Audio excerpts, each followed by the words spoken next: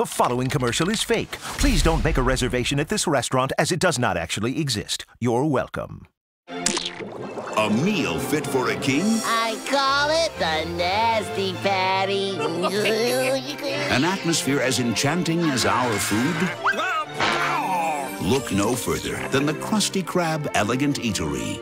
I'll have, uh, You gonna buy something or just stand there? Because there's a standing fee. A tasteful choice for occasions both refined it tastes like dishwater. It is dishwater. and dignified. Look at him choke! Feast on gourmet cuisine Oops, I dropped it in the toilet. Well, fish it out, and I'll dry it with me gym socks. at dog food prices. If we want to get customers in here, shouldn't we lower the prices? Fine. How about that? Reserve a table now. Space is limited. The Krusty Krab is the most perfect place in the universe.